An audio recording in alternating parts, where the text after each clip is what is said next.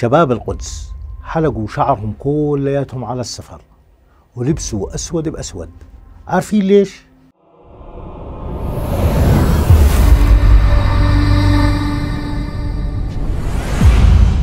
القصة عشان شاب اسمه عدي تميمي هذا الشاب بتقدروا تحكوا عنه شجاع إلى أبعد الحدود أو بطل كثير. المهم عمل عملية عظيمة جدا. العملية هاي كانت بتاريخ 18 العام الماضي. وكانت القصة عبارة عن سيارة إجت على حاجز جنب منطقة شعفاط في القدس.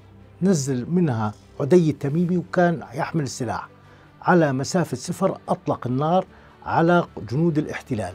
أصاب مجند قتل مجندة وأصاب مجند آخر بجراح خطيرة وأصاب كمان اثنين بجراح طفيفة. وبعدها اشتبك معهم مسلحا على الخفيف وتوارى على الأنظار. هون بدأ جيش الاحتلال يبحث عن هذا الشخص يحدد هويته. استطاع يحدد هويته طبعا فات على آه، مخيم شعفاط وعلى منطقة شعفاط وحاصر عدد من البلدات ودوريات رايحة ودوريات جاي كعادته. بالنهاية عرف إنه اللي نفذ هاي العملية عدي التميمي لكن ما تمكن من إلقاء القبض عليه لأنه بحمد الله عدي التميمي كان له جمهور كبير مش بس في القدس كمان بالضفة الغربية. والكل كان متعاطف معه. وبدأت ظاهرة الحلقة على السفر للشباب واللبس الأسود بالأسود تعم في كل المناطق بالضفة الغربية عشان يموهوا عن عدي التميمي وما تقدر أي كاميرا تقدر تتوصل له.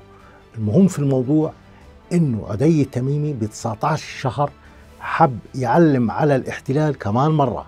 فراح نفذ عملية ثانية واشتبك معهم. ولكن للأسف بعد ما انتهت الذخيرة استشهد عدي. طبعا على أثر استشهاد عدي صار في حالة غضب عارمة في القدس وفي مدن الضفة الغربية وبدأ الاحتلال يدخل في مواجهات في جنين وفي طول كرم وفي قلقيلية كانت آخر مواجهة له في 23 شهر داخل مخيم شعفاط المنطقة التي ينتمي لها البطل عدي التميمي وانتهت الاشتباكات بإصابة ثلاث جنود احتلال. بجراح ما بين المتوسطة والخطيرة.